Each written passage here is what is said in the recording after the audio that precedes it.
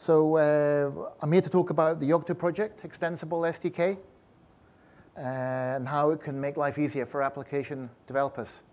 Nice to see a full room, so thank you to my pitch man, Tim Orling. And uh, let's see if, okay.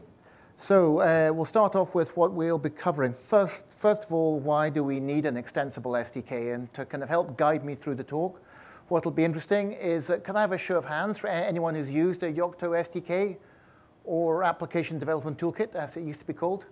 Thank you. How about those of you who have worked with the Extensible SDK, the later version of that?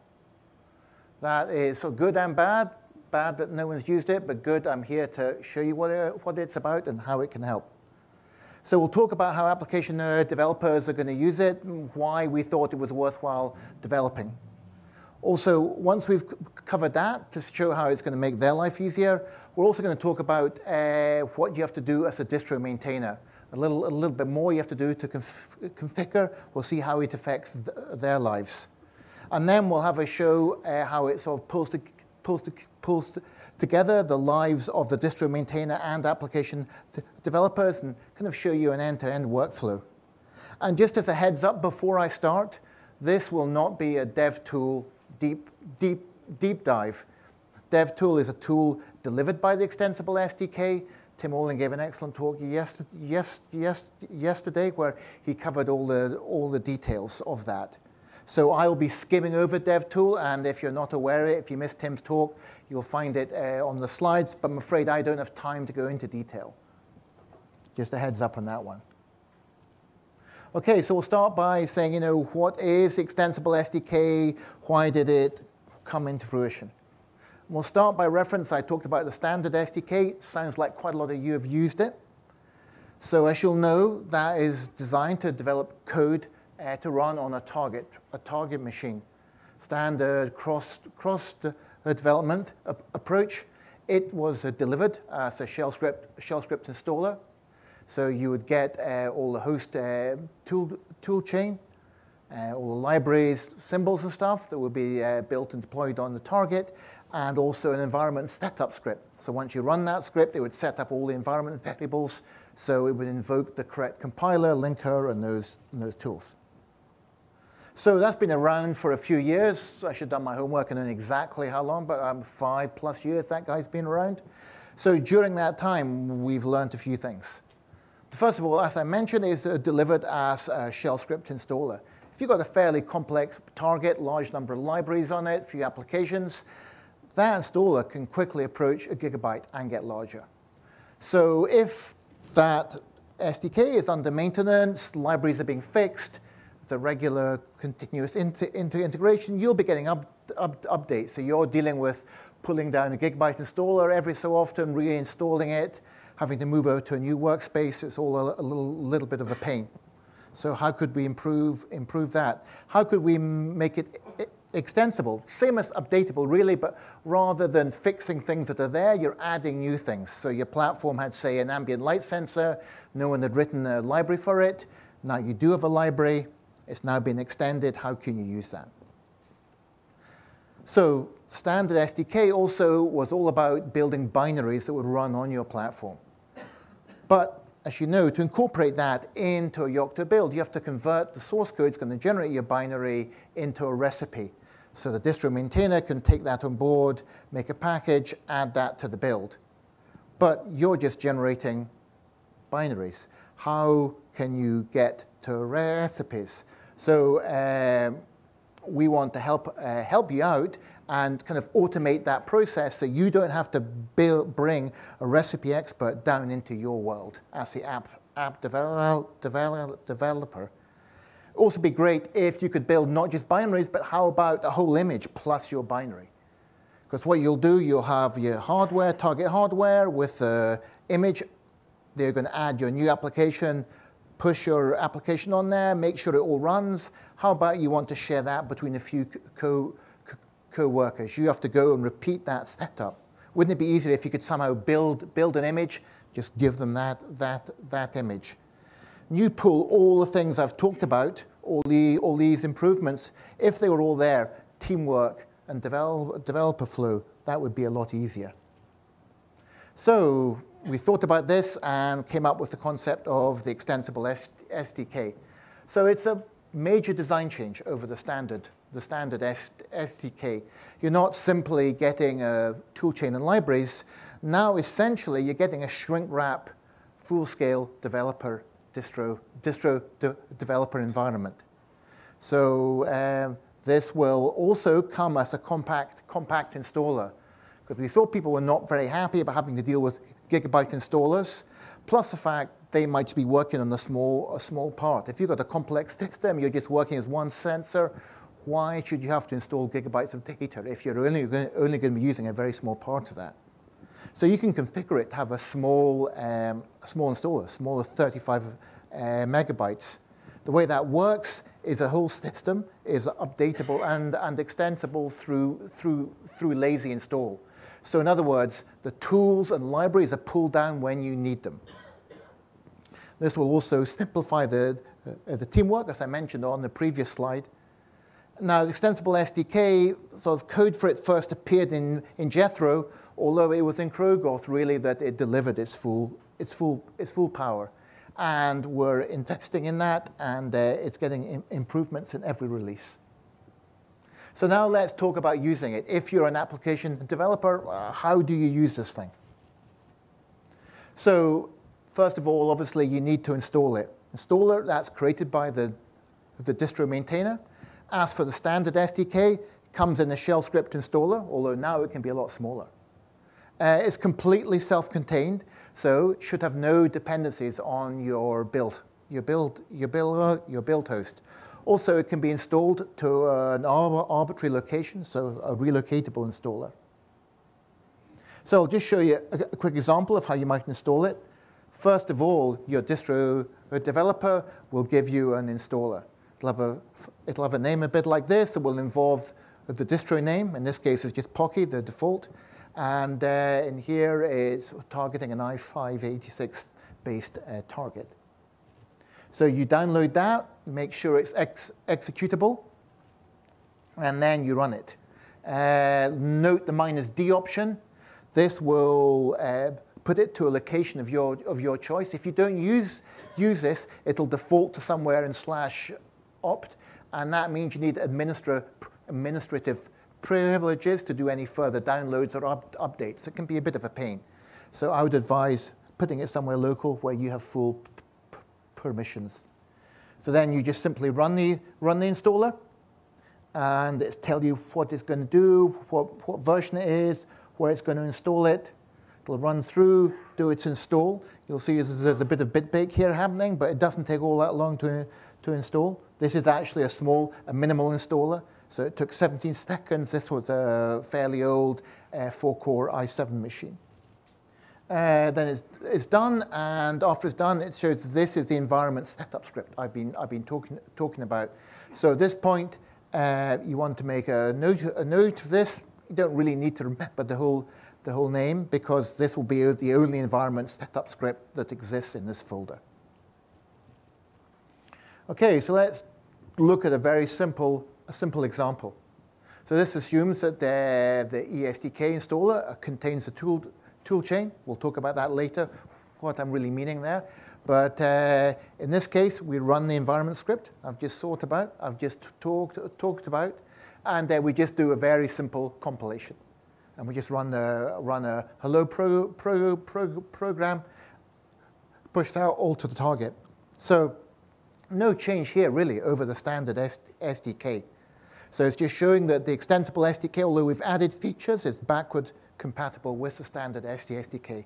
Allows Eclipse integration as you've had in the, in the past, but also it's uh, updatable, unlike, unlike the standard SDK. And I'll talk a bit more how that, how that, how that happens. So the key thing is it's got access to new tools. Now, when, when I say new, these are not new to Yocto project, but they're new to SDK users. Essentially, you're going to get access to most of the, of the distro tools. The main one you have access to is, uh, is DevTool, because this will certainly give you an easy-to-use gateway into the key tools. But also, you've got access to, to Recipe Tool if you know how to, how to use, use, use that. Want to do some real customization of some, uh, of some recipes from, from source code. Uh, it'll do access to Wic if you want to do image configuration, a lot of the tools. Also run, run QEMU. So if you have a target that's a QEMU, you can actually run QEMU from your SDK, which is pretty cool. So you can have an instant target. So if we'll do an example DevTool workflow, so as I mentioned, this is the key tool delivered by the extensible SDK. And again, I'm just going to touch on this. It was, Tim covered this in detail. So again, we start off by running the environment setup script. But now we're going to get a lot more than just a compiler. So now we've got, we've got DevTool, and we're going to do DevTool add. So what's happening here, you point it to a repo. it's got a project in it, in this case, a simple AutoTools project. A lot of you might know the venerable BB example. So it's going to pull that down and generate a, res a recipe. You can have a quick look at the recipe here. See, uh, look, look what it's done, check everything's right. Then you just do a build. And then you just deploy it to your target, assuming you have a network connection. Then you do your run, fix, repeat until you're happy with what you've got and then you do DevTool finish. So what this will do is it'll publish um, the recipe to and any any patches caused by your changes, um, and we'll and we'll publish all that to a layer. In this case, it's just assumed that you've made a fork of the layer that the distro maintainer will be adding to his his his build, and once you've published there, you've issued a, a pull request. Let the distro maintainer know so he can then uh, pull that and then publish an ESDK with your work in it. In it. So now everybody, everybody else in your team has got access to the enhanced BB example. So we talked about the big deal about the extensible SDK is that you can now up, update it. So one of the big commands here is uh, using DevTool. DevTool again is SDK up, update. So what's going to what's going to happen here when you run this, and you should run this on a regular basis. Usually, you'll get a heads up from your from your distro maintainer uh, that there's a change to uh, be aware of. But it runs very quickly, and the reason for that is it doesn't pull down all the changes that that, that to be made. It just, it's just aware of the changes to the metadata that has been published. So in other words, it's now aware of any package version updates, new tools, etc., etc. So if you want to extend your SDK, so now you want to pull, pull something down and play with it, uh, you can use DevTool to search for what applications and libraries you might, you might be able to have access to. And if you find what you want, you can use the SDK install. So the minus S that's in brackets there, that says you can pull down the source code if your distro maintainer has not already built it. And then you can build it yourself locally. So we'll talk about later how we can also leverage some of the pre-built artifacts that your distro maintainer has, has, has created. So I have, a, I have an example here of, let's say you have the small installer, the 35 meg, megabyte one. You can just uh, use S, S, SDK install to pull down the, the, tool, the tool chain, and now you'll be in a situation that's quite similar to the standard, the standard SDK if you want to follow that development model. You can also do everything that I've talked about in a container. Hopefully you attended Randy Witt's uh, talk earlier today when he was talking about containers. If you did, you would have heard him talk about one of the containers that was available is for the extensible SDK.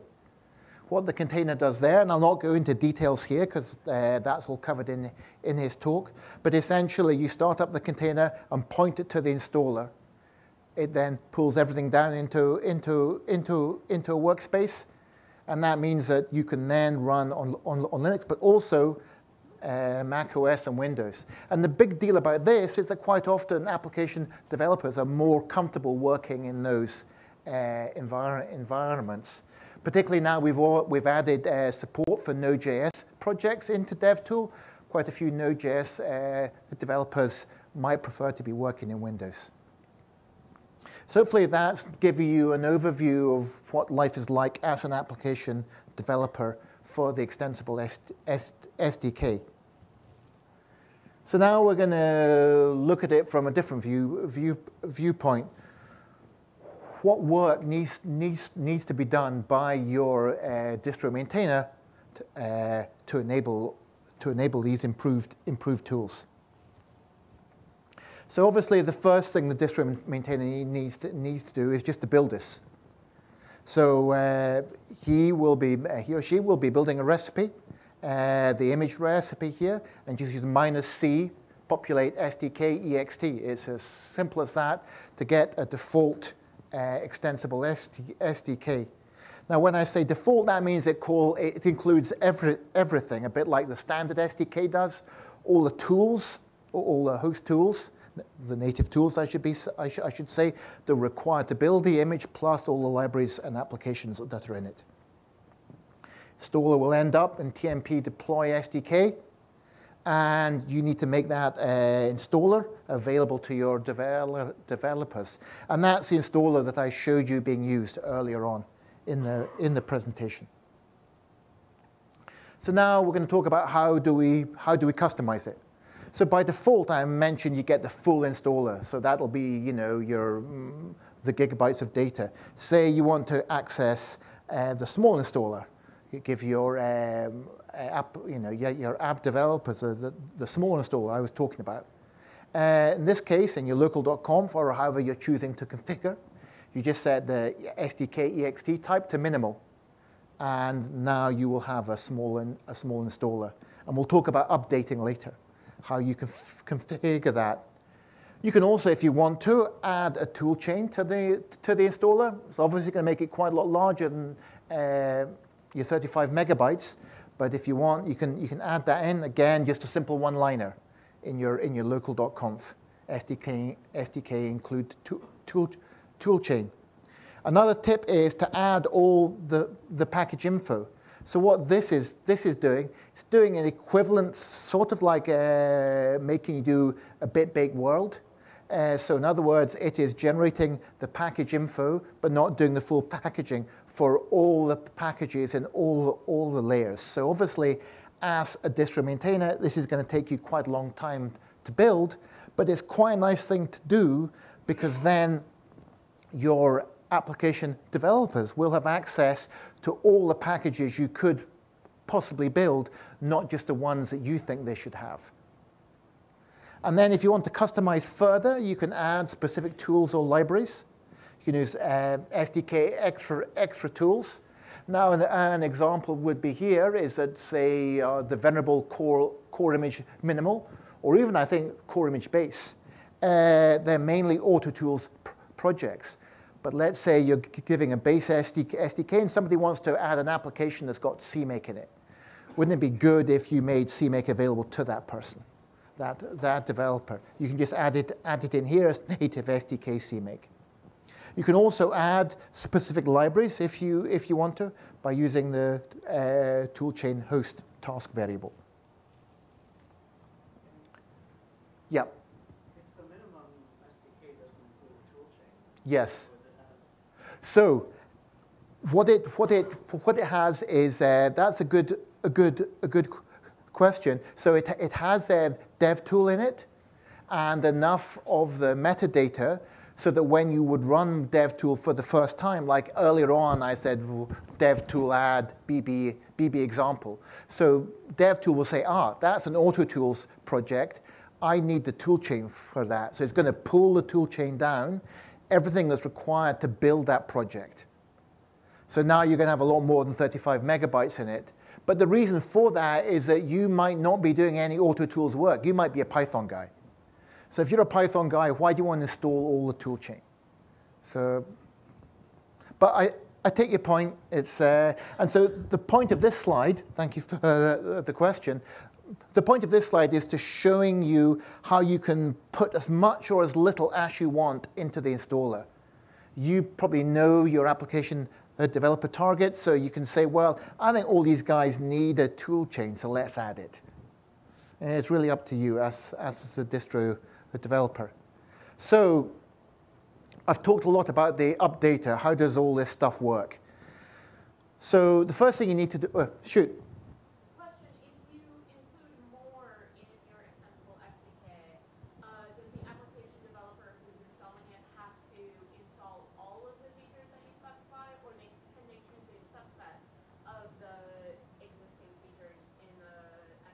Okay, so the question was that if you, if you prepare an SDK installer that's got more than just the minimal amount in it, can the person installing it pick and choose what's in the SDK? And the answer is no, they can't. Uh, you, as the, the distro maintainer, will build an installer, and whatever is in that uh, in, is installed, which is kind of quite a nice sort of segue to say that that's the attraction of the minimal installer because then you're only going to get what you need. The problem is, is that when you do the BB example thing, the first time you do the DevTool add, there'll be a bit of a pause whilst it goes out to network and pulls, and pulls everything, everything down. And I'll shortly talk about why it doesn't need to build stuff, uh, tools-wise. Okay, so now we're talking about the updater. So what happens here, you need to define a URL. Um, your application developers don't need to be aware of this unless you're having multiple versions. So I think it's safer. Let's just say for, for this example, you can just specify the URL. And by default, when they call their update, they're going to use the, URL embedded in the installer. So they don't need to remember any, any magic address. So you just set that URL in your configuration, again, of local.conf here. So SDK update your, your URL. You go and do your build, bitbake minus C, populate SDK ext. After you've done, here comes the extra step. So you run the command OE publish SDK. You point it to your installer, but you also have to specify an output path. So this is when it put, this is where it puts all the published artifacts. And all these artifacts have to then be put onto the web server so they're served up at the location defined by your update URL. So this means now when you're actually using it, the DevTool SDK update, it will automatically now go to this URL and by looking at the metadata it's got locally available, the metadata on the server is going to see are there any differences, is there any metadata updates I want to do. And I stress when you run the SDK update, it will not actually pull any packages down, it'll just sync the metadata. Think apt get update. Okay, so once you've made all these changes, you've published, you can let your uh, app, de app develop, developers know, but really they should also be in a paradigm, the wrong word, they should be in the habit of doing regular SDK updates because all it's doing is syncing metadata. You're not going to lose, lose, lose much time, so do that every morning, every hour, how often you want. So we talked about download of stuff on demand here. So the BB example, you've got your 35 megabyte installer, you do DevTool add, BB example, so it says AutoTools projects, I need the tool chain, so let's download the tool, tool chain. So it's not going to download all of that and build it, because that would take ages. So it'll download the, the pre-built um, tool, tool chain, now what's useful here is the concept of shared state where there's pre-built ob objects. Now those of you who've lived sort of distro maintainer will be well aware of shared, shared state. Those of you in the app developer land will not be so familiar. But all this really means is, is this is the output of all the build that's, that's, that's, that, that has been going on that has been uh, executed by the, the distro developer, developer. There's a, a, a, signature checking system that makes sure that it's going to be that it's going to match the object that you actually need. Um, so it means that when you come to build and link stuff, uh, everything has been built, uh, built already. It's just there available for you. And the only delay is the network time taken to download that. So you can see an example here. Let's say you're building a QEMU x86 target for a core image minimal, my pretty vanilla uh, development machine for core uh, i7 takes about 35 minutes. With, with SState, all it's doing is taking down all those objects and assembling them. It takes about a minute. So this shows you how it's going to accelerate, accelerate your, your time. So as a distro a developer, obviously, you need to make this SState mirror uh, available. And again, your app developer doesn't need to know any of these URLs. It's all baked into the installer. So again, you set this, you choose a, a, U, a URL.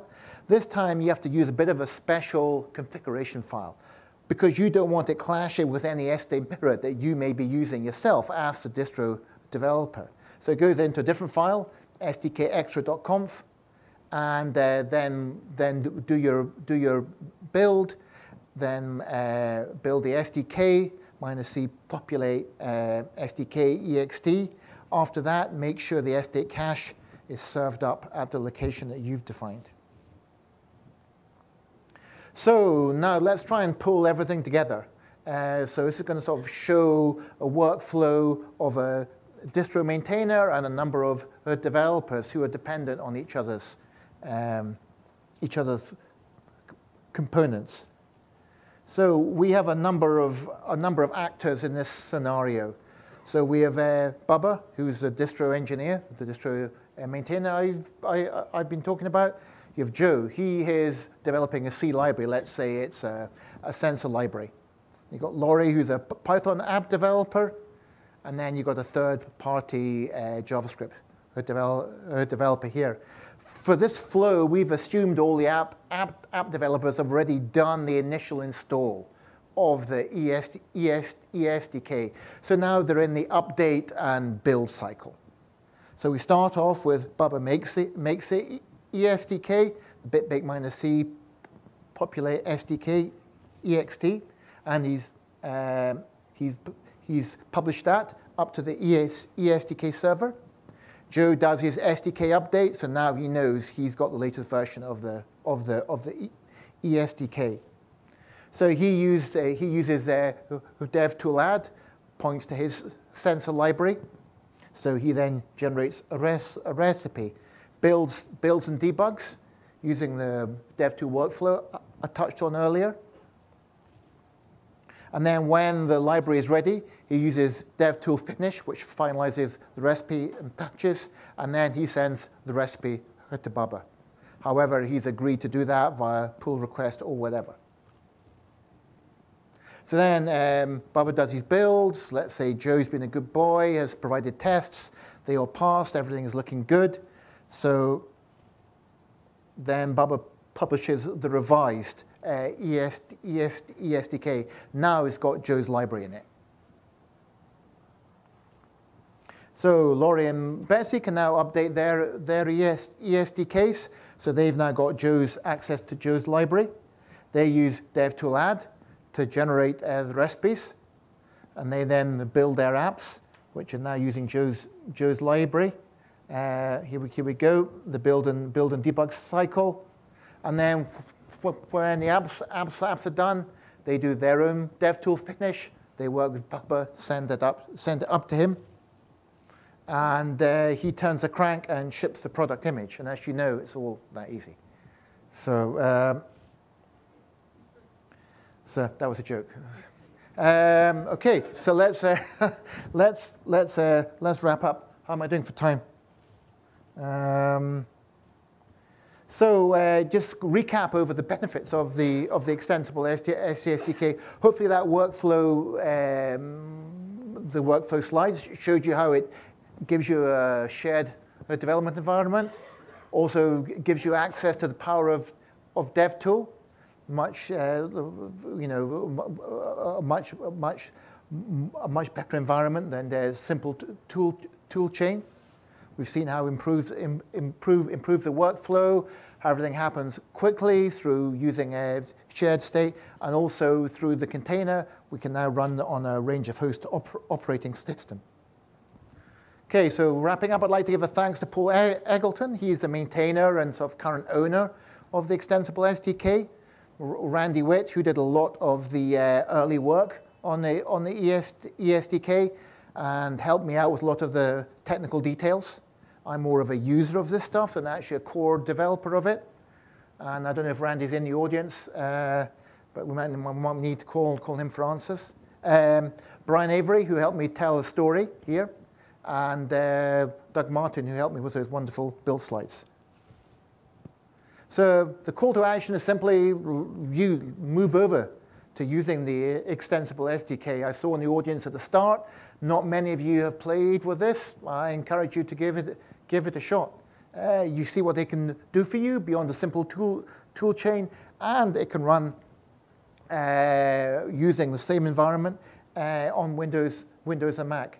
So the, there's a QR code here which will take you to this sort of landing page on our, on our wiki where I've tried to summarize uh, a number of articles, the right appropriate parts of the, of the Yocto project manual. The SDK manual is the best place, the best place to go for this. Uh, some tips and tricks, and also uh, a pointer back to this slideshow that's not yet available on the ELC website. And uh, with that, uh, I'm done and would like to take any questions, Chef.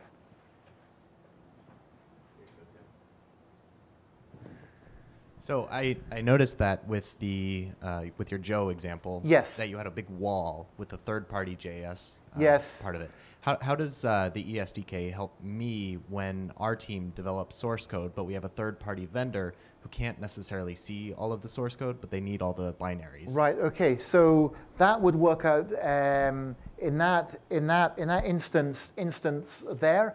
I would have to say I'm not quite I think you can set things up so when you do the SDK install, uh, I'll need to check on this, but you saw the minus S option in there. You want to be disabling that. I want to ask the, ask the, the, the distro maintainer, I want to find out if that can be disabled. And so that means all they can do is install the binaries. So they cannot install the source. If you can yeah. capture that question and get back to me, I'd love to make sure because that's a really good request, really good, uh, solid feature request right there. I'm not sure if we can support or not. Yes?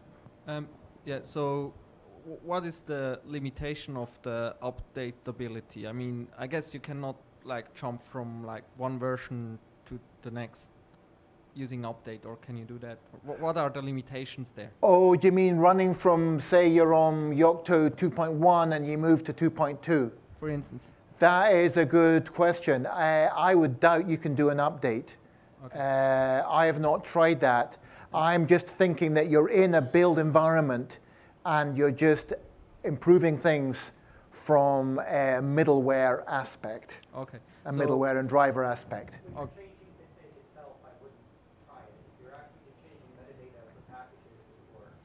Okay. So maybe distro features would be okay still? I believe distro yeah. features ought to be okay. okay, yes. Okay, good, thanks.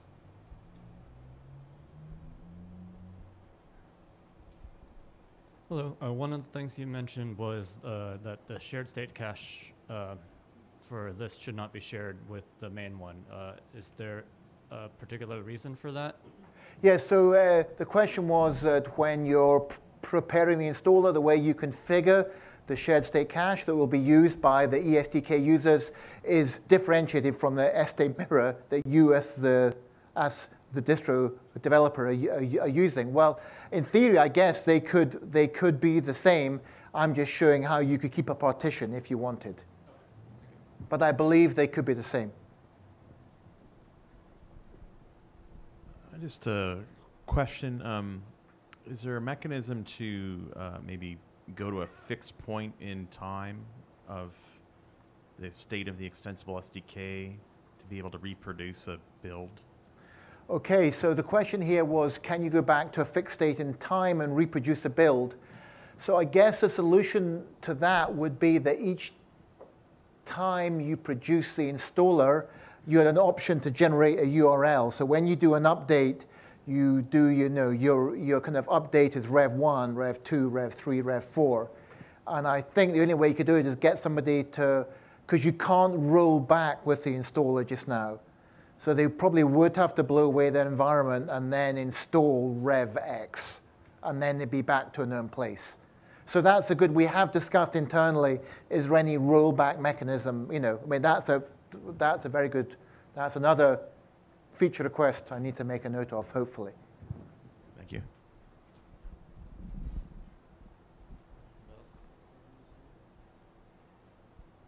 Uh, so one of the reasons why there actually was the third-party uh, wall was because of uh, work we've done together. Um, and so one of the ideas there is actually uh, Bubba is just going to build two different URLs for the SDK, right? One of them is source, with sources for the internal people, and the other one's only binaries. Okay, those were some great, great, great uh, questions. So as I mentioned, uh, we want to make this usable for people. We want to encourage people to use it. Um, I think the big strength, as I mentioned, is uh, hopefully you saw the build-out slides towards the end. It's just creating an, uh, it's creating a shrink-wrapped distro environment, distro developer environment that app developers can, can use. And even if you want people to help you modify or upgrade res recipes, you can, from a, not even from an app developer perspective, but if your time is too short as the, the, the distro maintainer, you want to farm out, out, out the work, just generate an ESD, ESDK. And that's the easiest, fastest way to replicate the exact environment you're working in. Another point that Henry brought up um, that's really important is this minimal SDK, extensible SDK, because it gets to be small, right? Because anybody who's looked at the Yocto project produced ES, extensible SDKs, they're you know 2.1 gigs and so on, right? Because there's a lot of stuff in there, and so that led to an impression that extensible SDK is therefore very large, right? That's not true. The, the reality is it, it's easier with a um, server, you know, webhook type situation where you're actually going to get the data from an update server. So that's really the mechanism you should be thinking about internally in your, your teams is uh, providing that. And it's as easy as python-m simple HTTP server 8080 or whatever and in the right directory and it serves it up for you. So it, you can do this pretty quickly without having to set up Yeah, uh, one, Apache. One, one more question about that is that in Randy's example, uh, when he did the extensible SDK in the container, he pointed at the uh, installers generated by the Yocto auto builders. There's a bug open because they're not yet generating minimal installers. So the only one you'll find out for, uh, for the Morty builds, I believe it's still building only a full installer. But hopefully in a few weeks' time that should be resolved. Uh, one quick question. I've got a team that's a bit spread out. They're, they're not all in one location. Is there a straightforward way of um, doing authentication credentials in this? Or is that to be released at some future point? Or I is that a great idea for a pull request? Or Right, that is a great idea for a pull request. okay, And thank you for offering.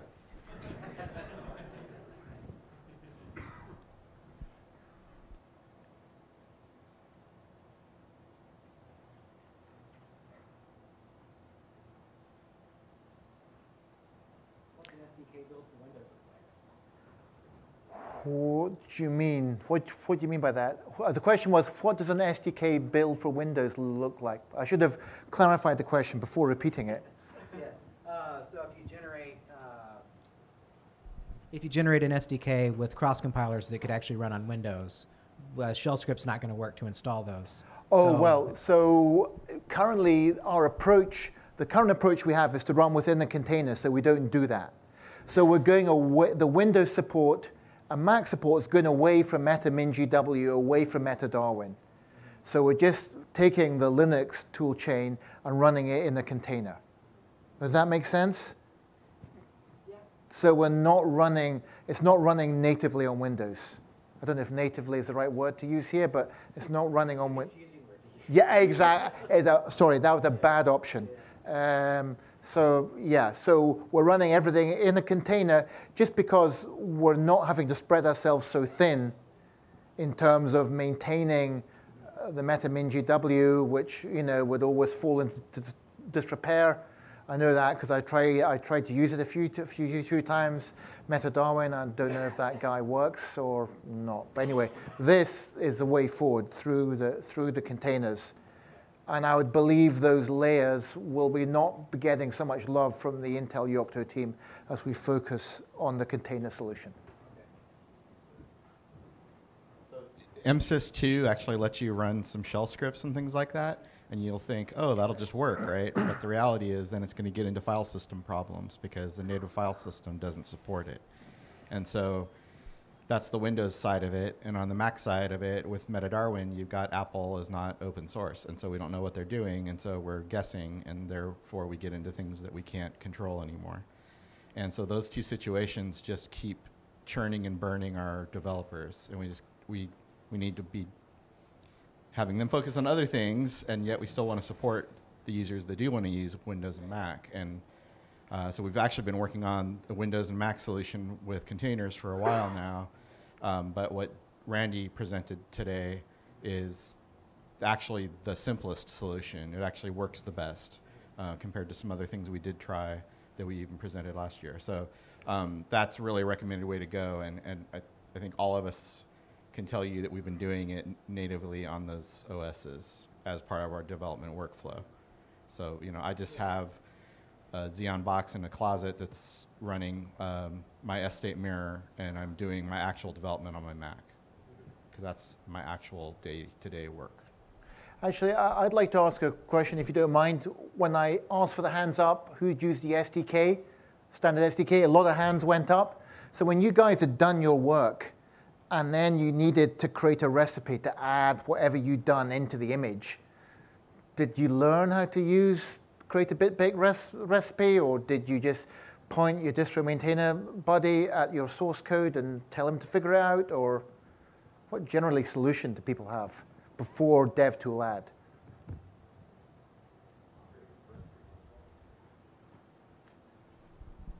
Uh, so what we did in our organization was we actually, uh, and when I say we, I mean I did this, uh, created a Debian installer. Uh, so we would take the, the SDK installers, uh, we Okay. were working in Dizzy, take the SDK installers, install those on a platform, and then minimize and scrape that and package it into a Debian package. Whoa. Put that in a Debian repository and notify our developers, okay, if you're using this version of the Right. OS, because we tag the OS with a particular version, then you need to use this SDK. Right. And so they would have to install that in their workstation. Okay, okay.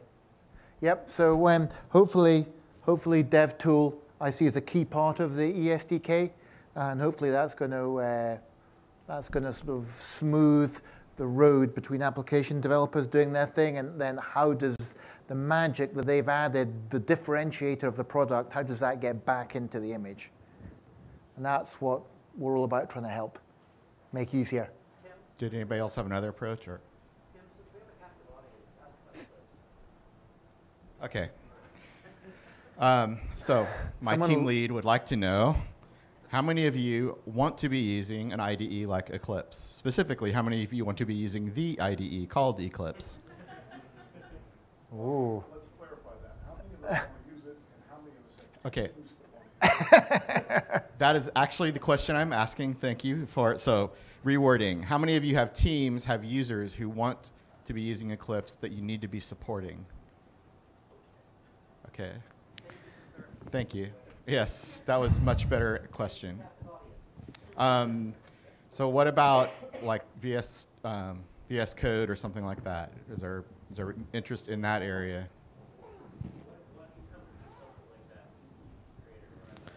Okay. Well, I'm asking for. Uh, we're trying to get a feel for what actual IDEs are in the wild and what what people are actually trying to support because um, poured a lot of resources into Eclipse at times over the past few years, and it's really really hard to continue to maintain it, and we're not sure if people are using it. One of the problems with an open source project where you've just got a website and people can pull stuff down, you don't actually know how many users you have and how they're using it.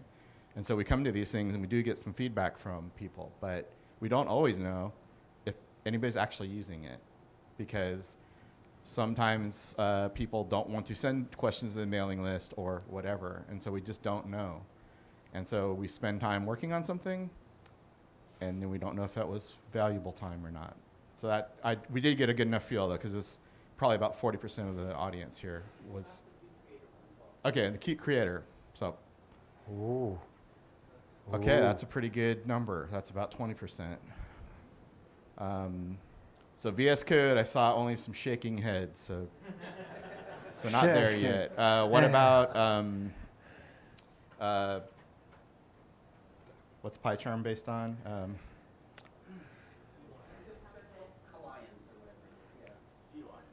CLion and okay, it's a couple folks.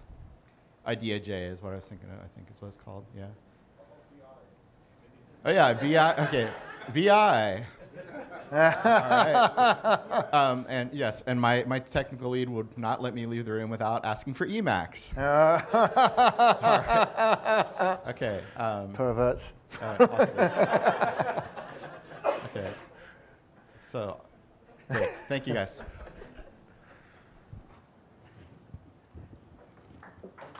Okay, thank you.